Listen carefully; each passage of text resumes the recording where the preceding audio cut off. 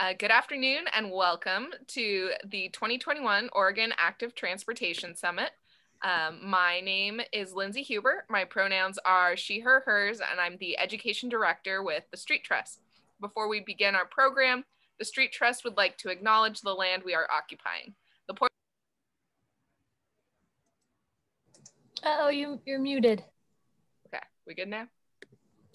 Uh, the Street Trust would like you're muted again. Why do I keep getting muted? You know why? Because I keep trying to mute myself and it mutes you. That's really weird. I won't I touch it. Mute you. it's Friday. There we go.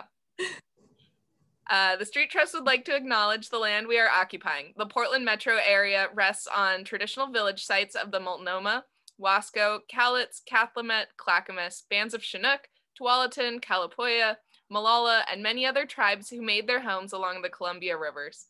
We take this opportunity to thank the original caretakers of this land. Thank you.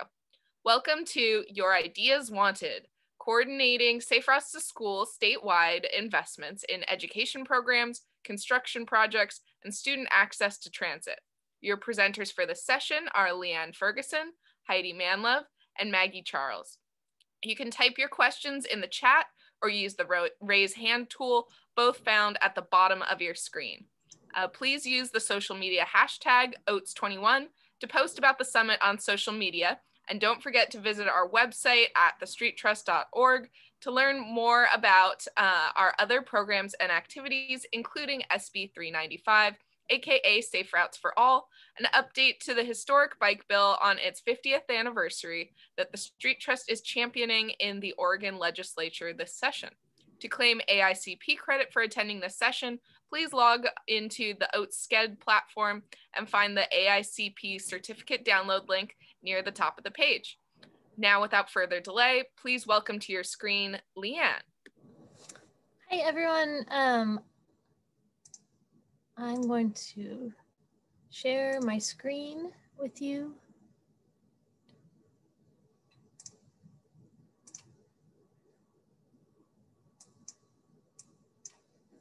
And pull my notes up here. All right, we're ready to go. So, hi, uh, my name is LeeAnne Fergason and I am here with some of my colleagues today to talk about safe routes to school and transit. And we'll go ahead and introduce ourselves um, uh, uh, by uh, saying who we are and then how first we got into transportation options uh, type of work. So my name is LeeAnne Fergason. I work for the uh, I work for the Oregon Department of Transportation as the Safe Routes to School Construction Program Manager, and I first got into sort of alternative forms of transportation. Um, there's sort of like two two things. One was I moved to New York City and I could not afford a car anymore, and uh, and even the Metro Pass was quite expensive. So in the summer, I rode my bike all over town because that was the cheapest way to go. And um, after that, I did a through hike of the Appalachian Trail and realized that walking was an actual way to get somewhere, which I'd never actually put together before. So uh, using walking as a form of transportation became really became really important. So between some of those um, some of those life life moves and life decisions, I got really into walking and biking and transit. Um, I'll pass it off to Heidi. Uh, Heidi. Can you go next? Hi, everyone. My name is Heidi. Um, I work at ODOT in the education program. Um, so I grew up in rural areas in Colorado and also uh, in Nevada. And so we had tons of fun growing up on bikes, um, but I never really learned or got comfortable um, commuting in the city because I grew up in a rural area. And so for me, um, uh, making sure that um, kids are comfortable um, and confident riders um, wherever they are, going to and from school, but also around town um, is important to me. And um, as adults, that will translate into um, healthy adult behaviors where they're confident and safe road users. So that's ultimately um, my goal. And also too, in graduate school, I started working on a distracted driving intervention program. And very soon uh, into the uh, literature review, I started realizing um, just how much distracted driving and all sorts of other um, uh, uh road safety risks were incredibly um, risky for vulnerable road users. And so that brought me to being um, an advocate for pedestrian and bicycle um, safety and start thinking about how um, my education and expertise in the field can um, work in um, communities and help to build um, strong growth in programs. So that's how I got started. How about you, Maggie? Hi, I'm Maggie. Um, I'm the Formula Program Coordinator for the Statewide Transportation Improvement Fund. That's at ODOT um, within the Public Transportation Division. And I feel like Heidi's was so thoughtful, um, her response to transportation but I think I would say that I first got into um, different modes of transportation living in Cincinnati because it's really hilly. And um, in college, I really liked to bike, but I did not want to bike uphill. So I learned how to put my bike on the front of the bus and realized that you can make different things work and you don't have to. I mean, you should push yourself, but you don't have to uh, make yourself too uncomfortable with it. There are options for you. So. Thank you. Um, uh, Lindsay, can you keep an eye on the waiting room? I'm, I'm thinking you're doing that, but I want to make sure that we don't miss any, uh, letting anyone in. Yes, definitely. Great, thanks. So the overview of our uh, collaboration presentation today and discussion will um, we'll be sharing a little bit about how we're collaborating sort of internally at ODOT across divisions and across departments and across modes. Um, we'll talk a little bit about our partnership with the Oregon Department of Education and uh, we'll do a couple a little bit of program highlights from each of the program manager uh, and then we'd like to have a discussion um, with you all on ways to collaborate between um, pedestrian and bicycle programs and transit. Um, basically, we're coming to sort of, the, we're, we're coming to the realization that that our role as ODOT is to help provide those transportation options, whether it's walking, biking, transit, uh, um, all, sort of all the modes together. And that when we're all working together is whenever we all reduce uh, congestion, reduce carbon emission, increase health and safety, like when we're all working together. So we've been we've been we've been on that ride together for the past couple of years in in ODOT. So we'll start with a little bit of of uh, grounding. What is Safe Routes to School? What is Oregon Safe Routes to School? We like to say in our community that it takes a village to get kids to school safely. So really it's um, it's a combination of the ODOT Safe Routes to School program as well as transit and transportation options programs at ODOT, as well as all of those enthusiasts and practitioners around the state for safe routes to school, transportation options, um, all of those individuals, and then also all of our local entities, local and regional safe routes to school programs, uh, school districts, schools, all of those pieces together kind of pull together and make the Safe Routes to School program at, at in, in Oregon. So for ODOT, what our role, what we see our role as being in this larger safe routes to school world as really providing safe, active, and shared transportation options. So we do that by investing in communities through grants and services we prioritize underserved communities, uh, folks who don't have the, the resources or the capacity to do the to do to do the work on their own, and we build and leverage partnerships um, to with agencies, schools, and community organizations to really create that, help create that village and bring us all together. Um, we're also committed to um, transparent communication and evaluation of our programs, which is also one reason why we're out here today talking about what's going on, how we're doing, how we're doing it, asking for feedback, really trying to take ideas and um, learn from our entire community. So our internal collaboration at ODOT and there, there's a thing called a work program. So uh, uh, when I first got to ODOT and I was like, how do we how do we formalize a collaboration? um, the work program was, was the system that's set up to do that. So we've created a Safe Routes to School work program. And uh, we created it in 2018 when Heidi and I were brand new at ODOT, coming together to bring the construction side of Safe Routes to School plus the education side of Safe Routes to School together. Um, Heidi and I both work in different divisions. At ODOT. Then in 2018, uh, we we uh, created that we created this work program. We also included our transportation options colleague, um, Stephanie Millar, who runs a program that funds uh, um, people to increase the number uh, or decrease the number of people commuting to large workplaces. So she she works to provide uh, different options for for commuters and for large um, larger companies to provide options for their for their employees. So our goals were to focus on funding allocation, collaboration, and equity on this work program. So one of the ways that uh, we started to implement the work program was in 2020, Heidi and I worked together to create a joint technical assistance um, uh, contract with one technical assistance provider so that our technical assistance from both programs could be pretty collaborative. Um, just uh, kind of by luck, we also happen to hire the same technical assistant that our that our transportation options work is is working through. So so we have some um, consistency around our technical assistance. It's just an example of how we're how we're working through our work program to, to bring our programs together and create a better program externally. So in 2020, we identified that transit needs to be more involved or needs to be another partner at the table. So we invited Maggie Charles and transit partner to our work program. And through that work program, um, we've been really on sort of like the very beginning and uh, the very beginning parts of this collaboration. So we're in the, definitely in the learning stages and really just trying things out and see how it goes. So also in 2020, we created a strategic needs assessment for safe routes to school. And I'll go over a little bit of what that needs assessment um, has, has uh, taught us. So it was pulled together by our, our, our, technical assistance team, which is Alta Commute Options, the Street Trust, and Cogito.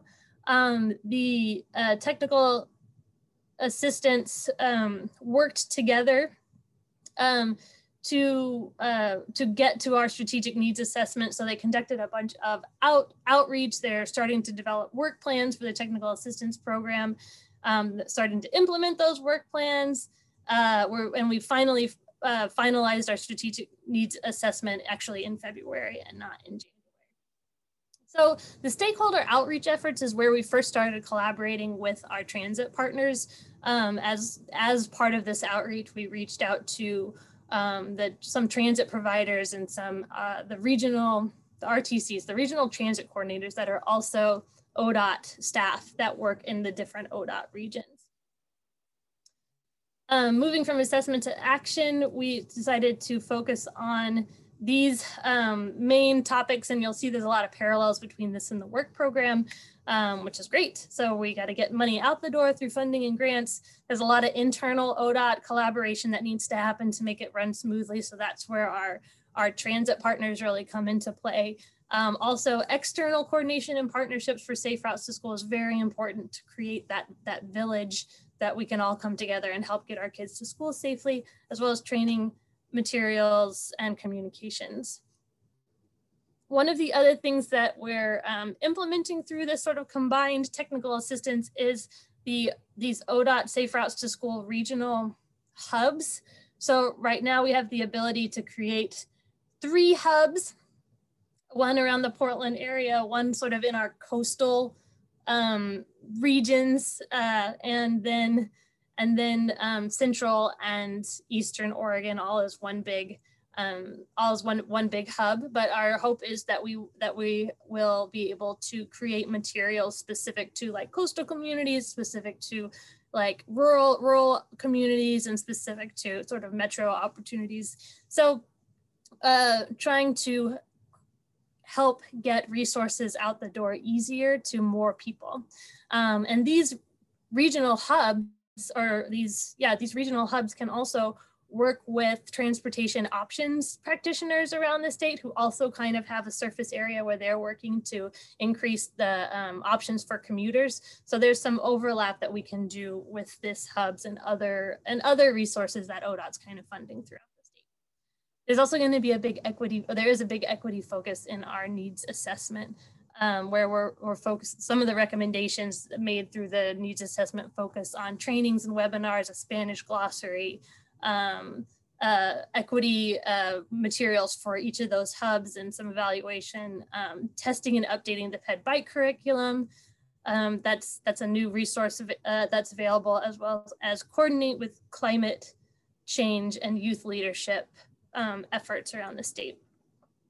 So um, that's kind of an example of some of the outcomes that are coming from that internal collaborative work program and you're starting kind of to see where transit's being um, being included in some of those in some of those partnerships and deliverables. The next sort of partnership I wanted to talk a little bit about where we're coordinating with transit is partnering with the Oregon Department of Education.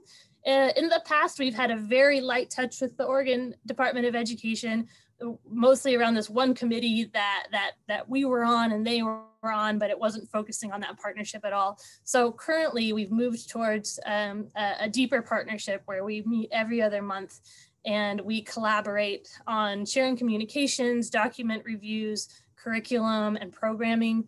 Um, the folks who sit at those tables from the Department of Education, our pupil transportation, tribal attendance program, and the Everyday Matters team, as which is their chronic absenteeism team, as well as the physical education program and health and nutrition. So that's the ODE crowd that we get to sit with. And then on the ODOT side, it's uh, safe routes to school education and construction, plus transit partners, plus that transportation options commuter style programs. And so we're all sitting together to really collaborate around how do we get kids to school safely. Um, with that, we'll, that's sort of our overview of our of our early collaboration ideas and implementing those. I'm going to pass it off to each program manager to talk a little bit more about their program specifically, and then some of the areas where they see transit fitting in. So we'll go for Heidi. Hi again. Um, so uh, in terms of talking about transit, um, I'm first going to tell you some things that we do with transit, but then also um, lend some um, questions maybe to you guys or just what we're thinking in general of how we could better collaborate with transit.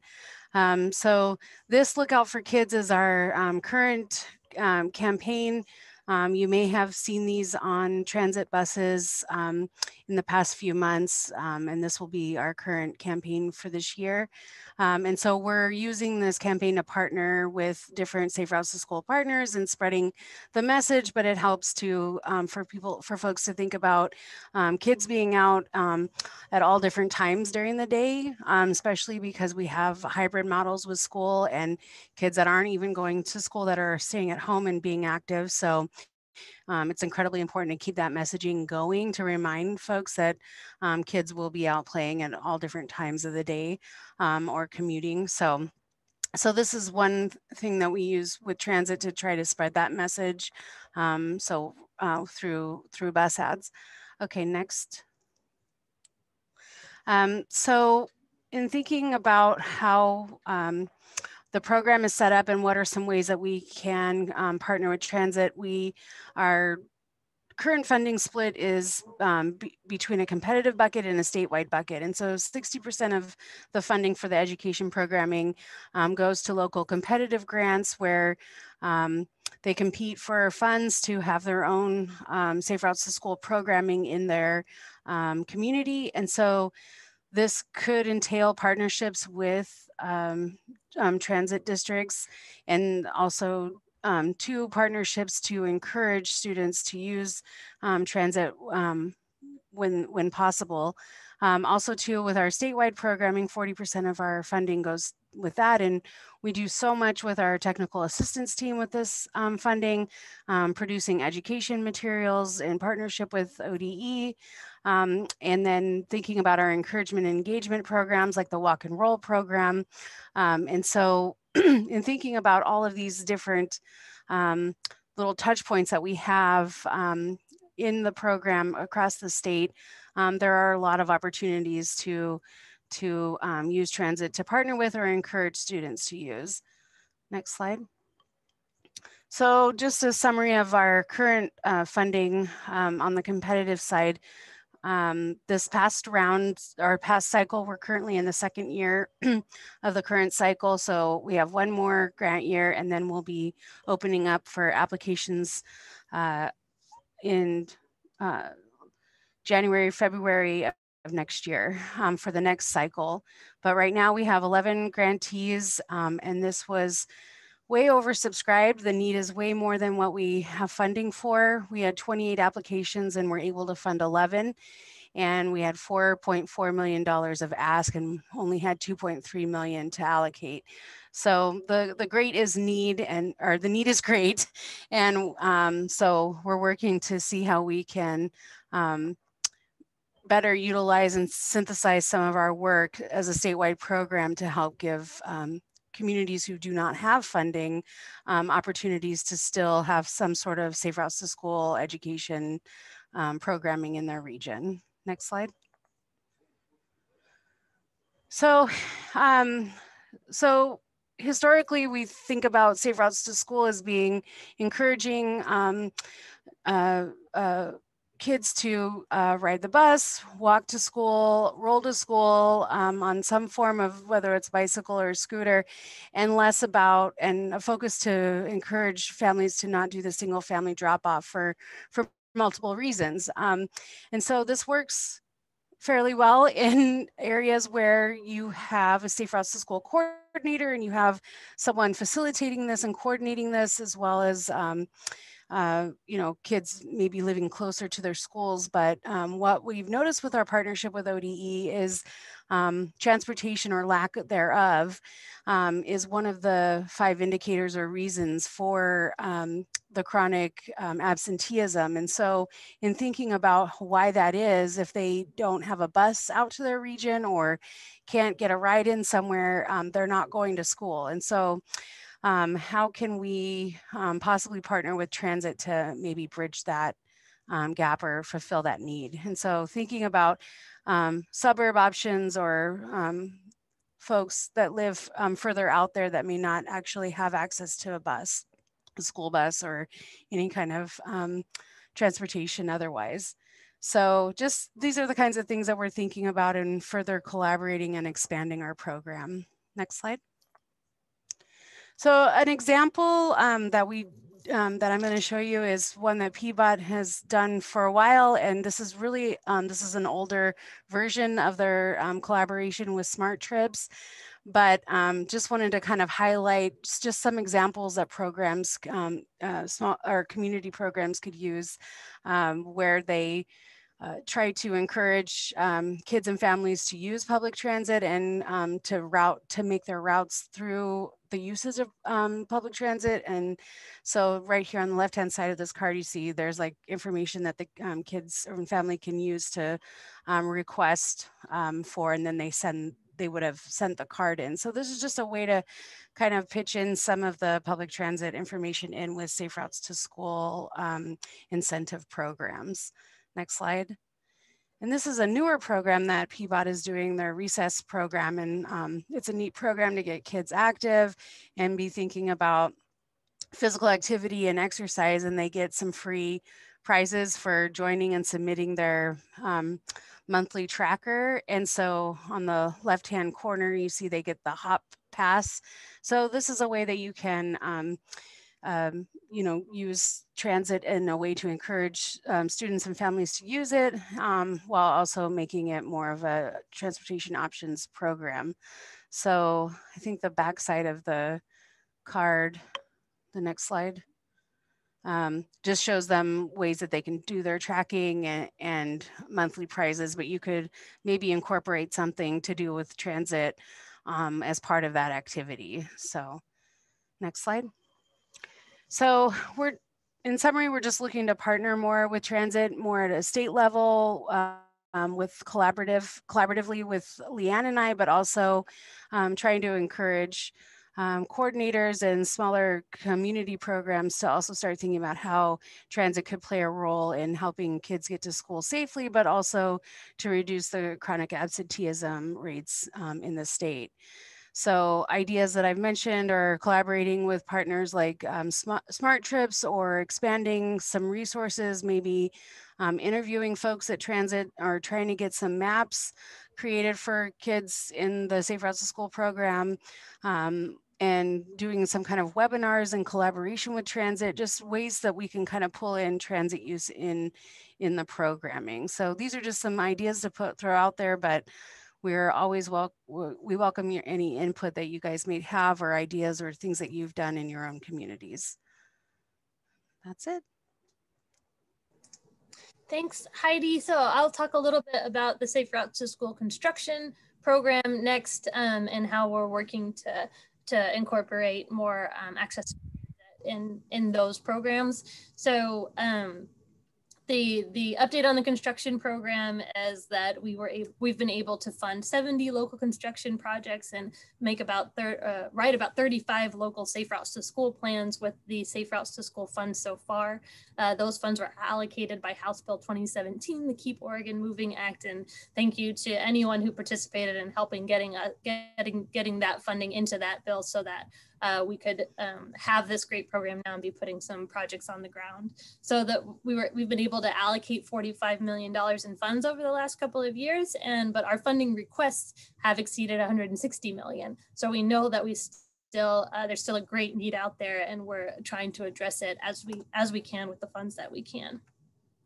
Some of the highlights of the construction um, program and where we've um, interacted with transit a bit is the um, is really through the project identification program. So that is the picture that you see on the right, and that's where we can send our, our technical assistant team to communities to work with the road authority, uh, the city or the county or ODOT, whoever owns the road around that school, plus the school community to come up with a safe routes to school plan. So what we've implemented this year is really working with our regional transit coordinators in, in whatever region the community is in to bring our transit partners to the table as well to be able to do holistic planning around how we're getting our kids to school, not just focusing on uh, barrier um, solutions um, to the walking and rolling barriers, but also to um, to access to transit barriers, um, as well as those plans also cover address uh, cover addressing barriers uh, that can be ugh. this is my like third presentation today so i'm like really like uh, i'm stumbling a little bit but also the education side of the program is addressed in these plans as well. Like what education um, solutions can you have? Education and engagement solutions can you have to the barriers to students getting to school? Um, some other just highlights of the program are I've got uh, pictures of five of the projects that have actually been completed. Um, we're, we're coming up on I think that our 10th project being completed since since the first, the program first initiated in 2018 so I'm getting really excited about those completed projects and they're exactly what you expect them to be they're they're the bread and butter of our uh, ped bike system uh, sidewalks crossings uh, most of it, as you can see from the chart below, goes to improved crossings. Um, uh, we're, we're doing about over 440 crossing improvements with these funds. Uh, we're doing a bunch of curb ramps and access um, uh, projects as well, over 160. And there's over 120 new walkways that we're putting on, on the ground with these funds. Um, also lighting, um, school zone indicators, there's a couple of other um, bigger categories, but those the main one is that crossing, like helping get, kids get across the street looking ahead, we have some uh, a grant solicitation that Heidi mentioned coming up in early 2022, and we'll be soliciting applications for our education construction and the planning program, so that project identification program. Um, uh, we're really excited to see applications come in from all over the state and from hopefully from some of you that are on the presentation today. In order to um, uh, receive the best way to stay up to date with these uh, programs is by signing up for our uh, Gov delivery list is what we call it at ODOT, but it's basically like our our our ODOT list serve where we um, send out all the information around funding opportunities. That's our that's our best way to send out information. Um, also, just a, an exciting update is there is actually a new $10 million for projects addressing barriers to students on state highways that was just allocated in the 2024 through 27 statewide transportation improvement program. So there's more there's more funding coming down the line, and what that will mean is um, the is that ODOT won't need to compete for that um, safe routes to school pot of funding. Uh, so we can pull them out and and use this funds for them, and that will make more state funds available for local communities to build those safe routes to school projects. So we're excited to be able to fund more local communities in the next round. So in order to stay connected, in order to keep getting updates about these great um, opportunities and stay connected, please um, Google ODOT Safe Routes to School and sign up to receive email updates. That's the best way to be up to speed on our funding opportunities. Um, you can also Google uh, Oregon Safe Routes to School and it'll come up with the OregonSafeRoutes.org site, which is a great way to access other resources like training materials, curriculum, uh, videos, um, toolkits, online toolkits, and things of that nature. Um, and Stephanie Millar is unable to make it today for family reasons, so I'm going to talk a little bit about transportation options. Um, try not to ask me any questions about this at the end because I am not as up to speed um, on this. But um, so our transportation options program is the program that really works with uh, employers trying to help employees have options to get to school. And uh, the transportation options program has partners all around the um, the state that have a service area that that they can provide resources within that service area. One of the main resources that is used is the Get There Challenge. This really encourages people to try using different modes to get to work, um, really focusing around carpooling and transit. Um, but also, I think you can also track other modes of transportation in there as well. But the Get There Challenge is a great way to encourage um, uh, alternative uh, transportation options to get to work. Um, the 2021 challenge, some of the updates that have been added are this, um, these achievements. So it's kind of, it's a fun online app that you can use that gives you, that gives you the, that uh, shot of endorphins when someone tells you you've done a great job and gives you an award. Uh, so they have that built into this program. Um, and if you feel like um, uh, you're at a larger workplace and you're like, oh, this would be great. I would love all of the marketing materials for this so I can get my workplace on board. There are um, there is ways to get the, the word out. There is a communications toolkit um, for this program that uh, that can be shared and um, materials for social media and news releases and things like that. One way that the Transportation Options Group uh, or program is collaborating with Safe Routes to School is um, one of the features of that um, online program, the Get There Challenge, is the school pool option. And this is sort of a closed system group that parents can, as that are all part of a school, can make to help coordinate carpooling uh, to school. So we think that this is a great uh, potentially a great opportunity for schools, um, private schools and charter schools specifically that have kids coming from all over. They might um, have interest in using the school pool to coordinate to coordinate carpools, as well as some of the transportation options funds have been used to uh, provide a sponsorship to a school to create a maintenance uh, lab, a bike maintenance lab in their in their high school so that students can learn how to do bike maintenance and help get um, students to school by bike. So that's some ways that those transportation options funds have been used. That's kind of like crossed into from from sort of like that transit uh, commuter side uh, to the safe routes to school side. And I'll pass it to Maggie. Thank you. Um, I'm just remembering now though that I think there's a school pool webinar next Friday if anyone's interested. I know that I'm going to attend because I'm curious about it and know next to nothing. So just wanted I'll to find it and put the link in the, in the chat. Great idea. Good idea. Okay, um, so if you want to move to the next slide, I will talk to everyone about the statewide transportation improvement fund program. I'm going to abbreviate it as the STIF program. It's just way easier to talk about it that way. Um, so the STIF program was established as part of the House Bill 2017 transportation funding package. Uh, we also call that package the Keep Oregon Moving funding package, so you may have heard of it that way. Um, it's a relatively new source of funding for improving, expanding, and maintaining transportation services in Oregon. Um, STIF funding comes from Oregon's transit tax, which is a state payroll tax that's equal to one tenth of 1%. Um, and revenues from this source are allocated across four funds. So we have the formula program, which is my program, the one I'll be talking about today. We have the discretionary grant program, the inter-community grant program, and then ODOT has a technical resource center that receives 1% of STIF funds. Um, so the formula fund receives the bulk of the funding, it's 90%. Um, and ODOT dis disperses those formula funds to mass transit districts, mass transportation districts, counties without either one of those districts, and the federally recognized Indian tribes. And it's all based on a formula allocation. So the total STIF formula funds we will distribute for um, 21-23 is uh, close to 188 million, 175,000. Those are recommended projects right now. They're going to be approved by the OTC um, May 15th, I think. So, but that's just a, a general estimate for you. You want to go to the next slide. Um, we'll talk a little bit more about what we fund with the STIF program. So um, let's see. So I mentioned the ultimate goal is to provide funding to improve, expand, and maintain public transportation services, but let's get into what that really means. Um, so the STIF funds may be used for public transportation purposes that support the effective planning, deployment, operation, and administration of public transportation programs.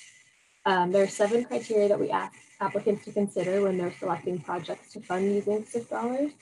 So we would like to see projects that increase the frequency of bus service schedules in communities with a high percentage of low-income households. We'd like to see projects that expand bus routes and bus services to reach communities with a high percentage of low-income households. Projects that implement programs to reduce fares for public transportation in communities with a high percentage of low-income households. Um, we would like to see projects that procure buses that are powered by natural gas, electricity, or other low or no emission propulsion. Um, also like to see projects that improve the frequency and reliability of service connections between communities inside and outside of the qualified entities um, service area. And qualified entity is just the direct recipient of the funds. We'd like to see projects that foster coordination between public transportation service providers to reduce fragmentation in the provision of transportation services. And lastly, the one most important for this group, we would like to see projects that provide student transportation services for students in grades 9 through 12. Um, so this criteria, we, we would like it to be 1% of funds that you receive through the STIF program each year. So if you're applying for funds, um, it's usually for a biennium, so each year of that biennium, we would like to see you allocate 1% of your total funding for the program, for programs that benefit student transportation. Um, so I have some project examples on the screen. People often allocate funds toward creating free or reduced bus fare programs for students, um, providing transportation to after school programs like to a Boys and Girls Club, or um, I've seen in this last cycle people spending money to um, transport students to like college or career fairs so that they can get more information about those options after school's over. Um, and also people uh, fund programs that increase partnerships between the transit agencies and the school district so they can provide ongoing services and it just creates a sustainable relationship because they'll be getting the funding each biennium. So they'll go to them to talk about each time.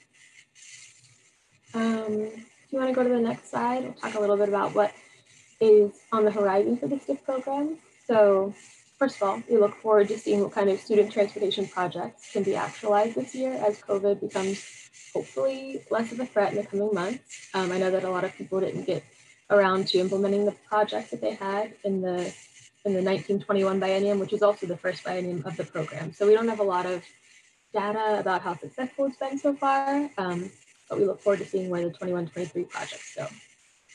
And so starting July 1st, 2023, uh, my program, the STIF program, will be merged with our Special Transportation Fund program. And that fund provides transportation funding to seniors and people with disabilities of any age. So we're going through the rulemaking process right now for the new program. We've convened a rules advisory committee and we hope to draft the new program rules by the end of this year. So um, I have on the screen the STIF program website and then the consolidated STIF program website. You can look at both of those for more information about the regular STIF program. And then if you want to get updates about how the rulemaking process is going overall, we um, have a gov delivery, like LeeAnne mentioned. It's available on both of those websites. Um, I bring up the consolidation because the rules are where we wrote in the 1% um, allocation to student transportation fees. So we're now going through that process again and it may come up again. And um, we just want to hear from people around the state and see what they want to funds to, to go toward, what we want the priorities to be. So um, there are opportunities for you to get involved and make public comment. Um, so I encourage you to just take a look at our site and see if you'd like to get involved that way. That's all I have.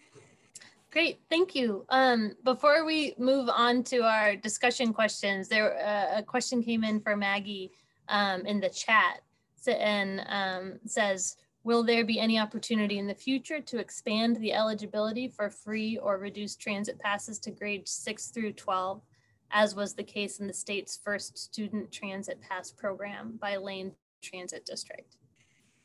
Great question. I mean, as I mentioned, the rulemaking process, this is the time that we would be bringing that up as a possibility. Um, I know that people have allocated funds to, to, projects that do benefit students younger than grades 9 through 12. It's just not part of um, like the outcomes that we're collecting to show the state, but funds are going towards students that are um, under grade 9. But um, yeah, I think there's more to come on that front. I think it's a great idea. It's kind of what we're talking about in our work program meetings and just as a small group. So um, it's great. I encourage other people to bring up thoughts like that and I could share them with uh, my group back at ODOT too. Great, thank you. Um, so we have a couple of questions for you all. We realize that it's Friday afternoon. Um, so if uh, if if you need to like get up and jump for a minute, like please do it. Get your get your brain moving, we would love to ask you all um, how can ODOT better coordinate between safe routes to school and transit externally? And how can you better coordinate active transportation and transit in your work? And what I'm thinking I might do is just put these questions in the chat so that everyone has them and then um, stop sharing my screen so that um, if you would like to share, uh, just turn your video on um, and let and, and wave or let us know or just, uh, sorry, stop sharing. There we go. So the questions are, how can ODOT better coordinate between safe routes and transit externally? Like if you've got, like if you've got a vision for what it should look like, like now is a really good time to, to share that vision with us so that we can so that we can also get on board with your vision and see what we can do. Um, also, how can you better coordinate active transportation and transit in your work? Or what are some things that you're doing that you could share with the group that we can learn from each other and better coordinate our efforts?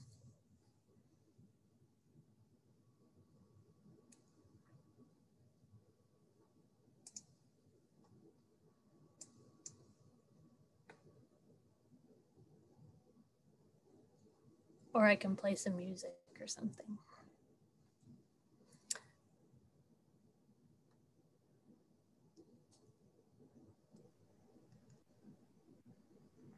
Um, we've got a comment um, saying funding for permanent traffic gardens that function as a base for mobility education, including transit, walking, and biking. And gold star for anyone who can tell me who wrote that comment, although you can all see who wrote it it was our it was our um, our favorite Shane Rhodes. Um, uh, Heidi or Maggie, do any of you have anything to say about traffic gardens and funding? Yeah, um, for me, uh, some of the semi-permanent traffic gardens um, things are um, stuff that we could uh, definitely um, pay for as part of the uh, local competitive grant projects. Um, it's the permanent part is what gets um, a little sticky.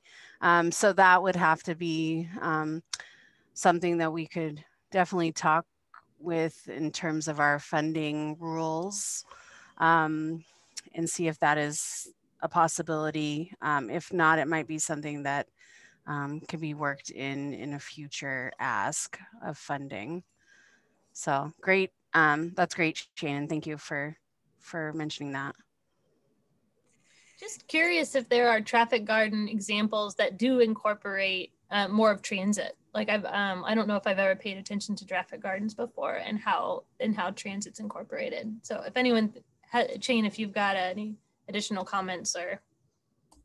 I'll, I'll just um, say, you know, the infrastructure. That's one of the issues is that the um, because they're permanent, they're not programmatic side, but on the infrastructure side, they're not eligible because they're generally not in the right of way because they're in parks or you know some area that's not in the right of way and so that's one of the issues that we've had in finding funding is sort of not fitting um, in in those realms um, but I think that there there definitely are some examples, some of the European examples of traffic gardens um, that have incorporated their scale down city aspect and have had transit uh, incorporated in that with like mini bus stops um, in there and um, part of their education around you know all mobility um, was around transit for sure. Cool. Um, i wonder if there's a maybe well i know that the safe routes infrastructure funds is super narrow to the right of way but i wonder if there's a, a like the new community paths program if somehow it's like built into a path like if that if that's an opportunity. Anyway, just sort of brainstorming. But um, Leah, did you have a comment? Yeah. Sure. Yeah, I I had a kind of an idea that didn't come to fruition yet for for our school district. So I'm a Safe Routes to School coordinator for Beaverton School District, and we have a newcomer program um, in our district where these are students who've just arrived and have either a, a, language barrier or some sort of trauma that allows them into this program where it's self-contained. It's a, a year-long program that they hopefully then graduate out of.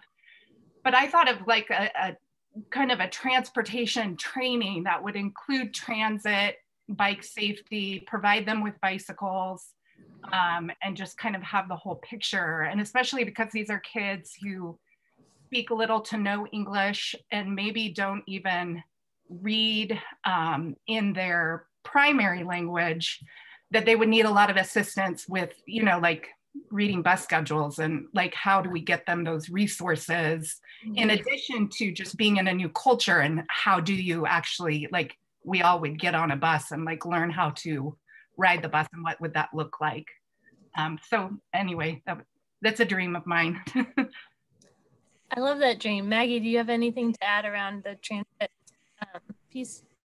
Uh, well, just that I love that dream too. And I think um, we you can fund mobility management projects using STIF dollars. So um, I'm not 100% sure what the boundaries are around that, but I know that travel training is one use of funds that people use pretty regularly. So um, yeah, I don't know why it couldn't be available to students too. It would just be, um, we want to consider those different aspects of the student life that you just mentioned and make sure that it's appropriate for them. But um, yeah, it's a great idea. That's definitely something I'll consider.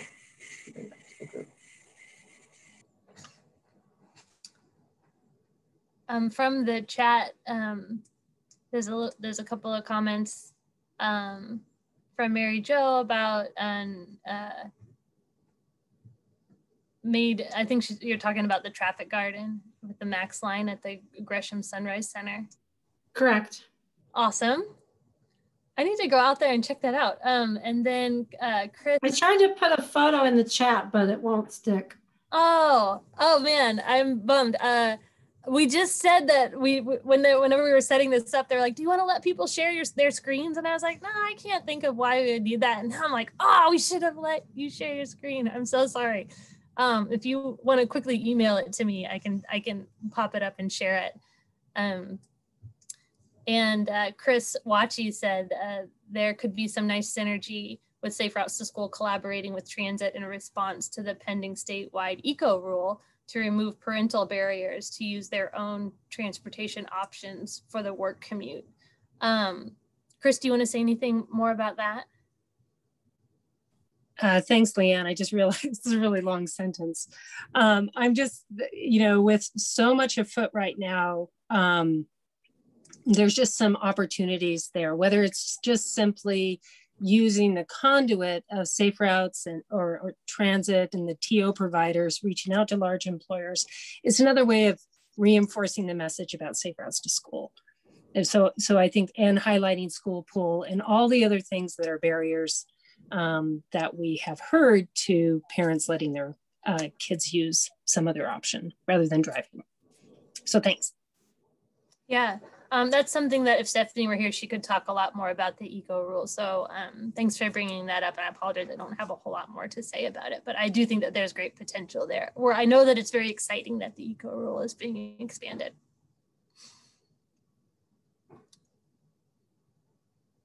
Any other dreams, um, shared vision, want to share your visions?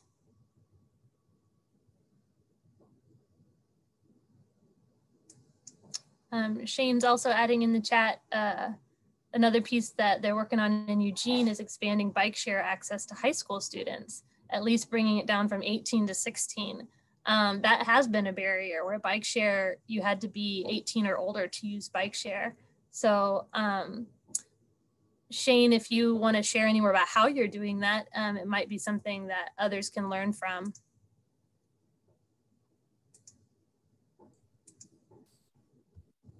Sure. Just um, I'll note that we took over operations of Peace Health Rides, our bike share, uh, internally with the City of Eugene, and then we uh, went through a process, an RFP process, to bring on a new uh, operator and uh, Cascadia Mobility, who's working with ODOT on the potential of different statewide opportunities for bike share. Uh, took over bike share uh, operations for us just this month, um, and so we're working with them on um, as they create their new policies and procedures that it's all set up uh, with some changes that we wanted to make in the system. And one of them was around access uh, and improving access for um, more people. And one of those was um, bringing the age down from 18 to 16 so. Awesome there's actually a project in LTD's STIF plan. Um, STIF plan is like the application for our funding, and um, yeah, I think we're we're sending them some money to right. yeah increase that. Yep, that's how yeah that's how we're able to do it is through the STIF yeah. funding. So. Well, it's great to see these things actually I, actually like the it, it's happening on the um it's happening but like having funds to make something happen is really helpful apparently um, so this is the, do you all see the screen of the picture that Mary Jo sent? Yep. All right. Thanks for sharing that. And where was that? This is in Gresham at the Sunrise Center, and it's right next to the Blue Line Max Tracks. And the community out there, this is in Rockwood neighborhood, and they have to navigate the max line. Uh, it cuts right through their community. So when we made this uh, traffic playground, uh, we want them to be able to learn how to use the max and how to be careful on the max tracks when we get to be able to program at it. So we created um, this little, uh, but this is the max stop with a bench and the blue line max tracks are out there and um, so we're looking forward to doing more programming with it this summer. That's awesome. That's a great example of of including transit and how to how to go over the max tracks and how to get on and off the max. Great, right. Example. Our our other traffic playground also does include bus stops, and you can see at the right side of the uh, yellow bus stop is the blue sign with the TriMet symbol on it. So mm-hmm. we did include bus stops in our other traffic gardens, playgrounds as well. Very cool. Thanks. Thank you so much for sharing. Yeah, thanks for bringing these up, by the way. I'm so out of the school world that I had to Google transportation guard or traffic guard on the side here. And these are awesome. Um, the garden and the playground images are really cool. It's definitely something to consider. We have about four minutes left. Is there anyone else that has a vision or a, or a project that you're working on that you'd like to share?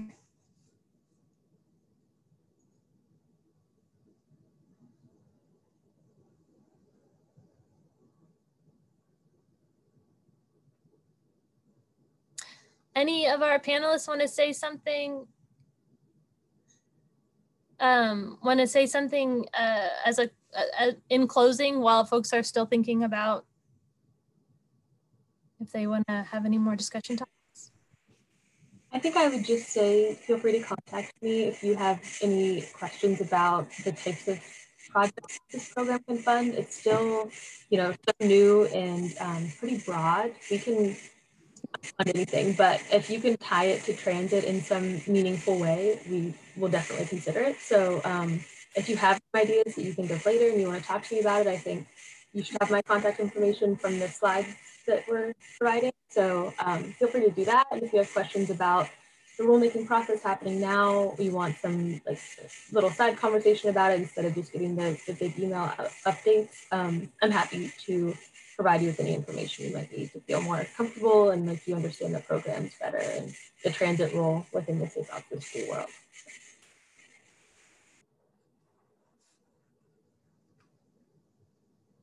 Heidi, anything from your end?